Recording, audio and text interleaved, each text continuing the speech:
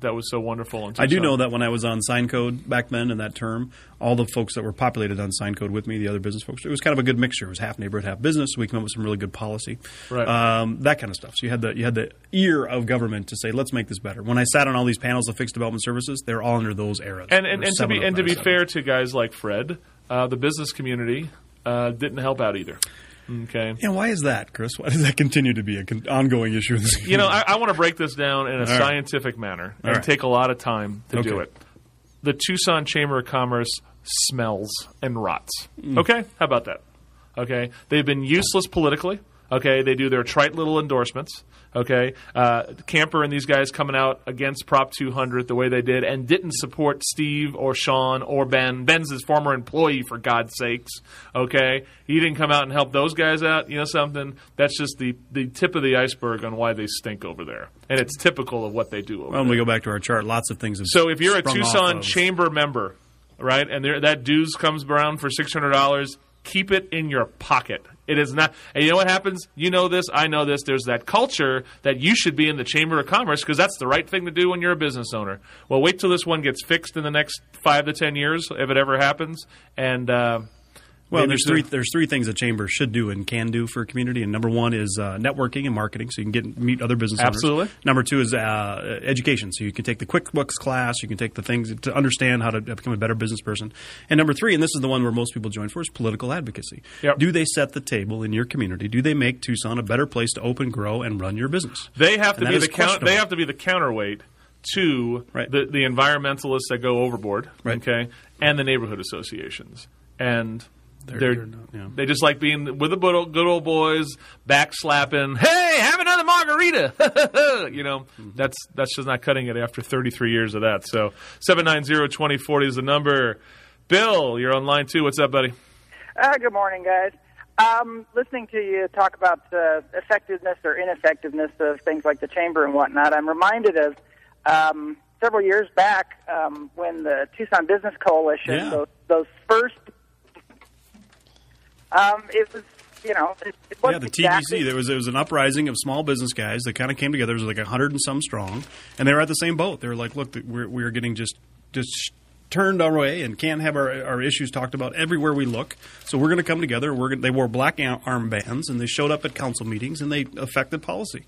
And, and again, it's it's the idea that the organizations that you'd think that are in place that would um, advocate for businesses don't do an effective job, and you get to a point where there's enough of a frustration level about uh, uh, amongst the businesses out there.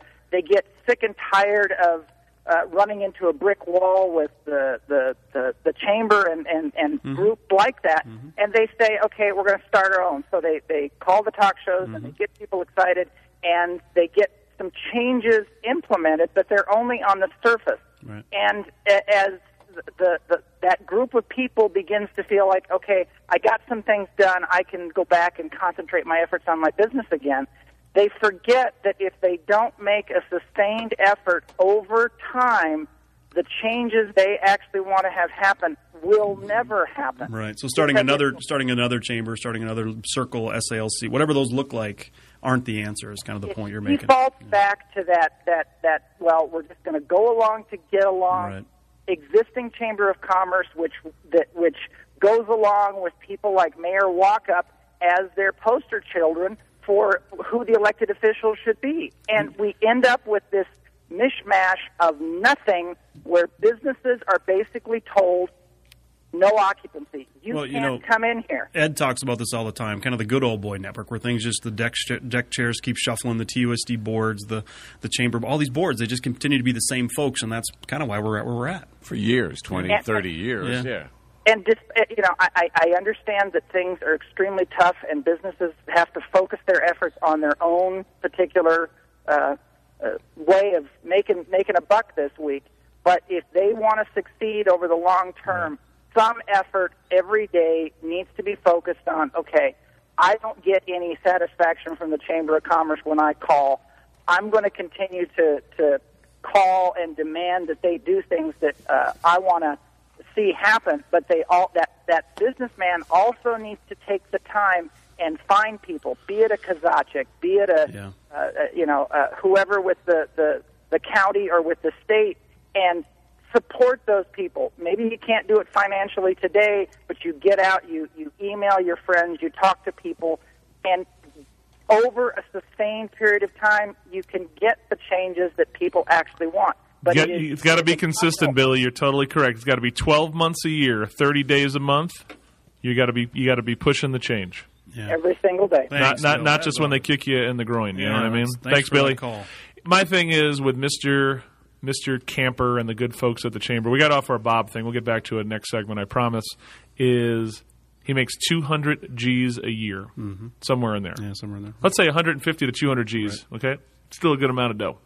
Gets his free cars, his Tucson Country Club membership as part of it. And as Spider Man Peter Parker once said, or his Uncle Ben did, with great power comes great responsibility. And what happens is, what are we seen as the results of this of this chamber? And you know something? It is bad networking events, trite chamber endorsements for candidates, uh, Declining membership, declining membership, a terrible business environment throughout the just look at their their quote people of the year. development services problems. Okay, when you name Larry Hecker, who doesn't, he has a, a law practice. Okay, who doesn't hire anybody in this town, and just because he's part of the good old boys network and sits on every board humanly possible, how do you justify that as your quote man of the year? Okay, that's pretty pathetic. That's a perfect example of how pathetic this chamber is. So why don't you get passionate? No one's passionate about what they talk about. We talk about it all the time. The right side of the chart. There are passionate people in these neighborhood associations. There are passionate people about the environment. Whether you disagree with them or not, they're into it. Right. Well, you know something? The Tucson Chamber is not passionate about anything except keeping their positions and their salaries. Okay, you know, Camper kind of yells once in a while, but I've never seen him passionate about anything about changing this community. And I hate to tell you, it's kind of part of the reason this the, the chart is so messed up right now. The, the playing field is totally messed up. You are absolutely on fire today, man. I love it. You're fired up. I'm not on fire. Yes, you are. I love it. So, Well, again, and it's deep rooted issues. I think that's what Bill brought forward. Look, we're all busy as business people. We don't have time to go out there and show up at everything, but we, we, we write a check and we'll throw it over to one group that we think is going to do that effort, and then we'll be plugged in when we need to be plugged well, in by let- them. let's But talk, if they're not doing that, Let's talk about my doing friends in the hotel business, okay, at the, in the SALARA, Southern Arizona Lodging and Resort Association. Well, I hate to tell you, they kind of played ball with all these guys for years. Mm-hmm. They really did. Kissing butts, kissing the bureau's butt, all, the visitors bureau, who's our not so great We're tourism today, promotion. Not today. okay. And what happened was they let the you know they they, they basically rubber stamp deals the city and the county on the bureau and other things, and these guys kind of go along because they're taking care of their business, right? Well, when the city finally raised the bed tax. Which what we're learning is basically it was based on recommendations from the Visitors Bureau themselves to raise the bed tax only on the city hotels, which makes them uh, in a, a, a competitive disadvantage all of a sudden, a couple of guys, probably Tom was the one who got him really. All of a sudden, SALARA's up and at 'em. Okay, they're sending people to city council meetings. They're protesting. All this great stuff. Eleventh hour. Awesome. Yeah, right before okay. the 11th well, hour. and it's great that they did that, but now they need they need to jump on it afterwards. I mean, they need to jump on it eh, tomorrow and it, it- Lawsuits. And now they're going to now they're going to sue the city. Right. Well, after they sue the city and the city pays a city with all this money is going to pay all this money to lawyer fees and whatever else they got to do as part of this. Okay, and they're going to lose. They're going to lose big time. The city on this one. SALARA, the lodging associate, needs to keep kicking them in the butt for like the next two years again. Just keep it up. Just because this little issue's over doesn't mean it's over. Right. Because they'll get you another way. Right. So six forty They nine wait the old Pueblo.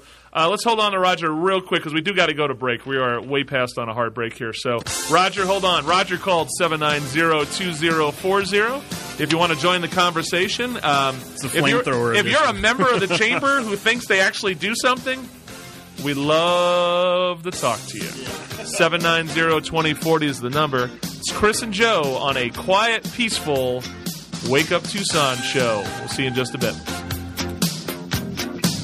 Oh, isn't that nice? Trying to calm him down a little Nice, bit. nice job. It- You'll need more than a song. Yeah. it's going to take more than a song. Five, uh, six fifty four in the a.m. We are uh, coming. Joe, through we're going to fiery. test your musical knowledge. Who's singing that? Absolutely no clue. Roy Orbison. Grade one, yeah. Uh-huh. Big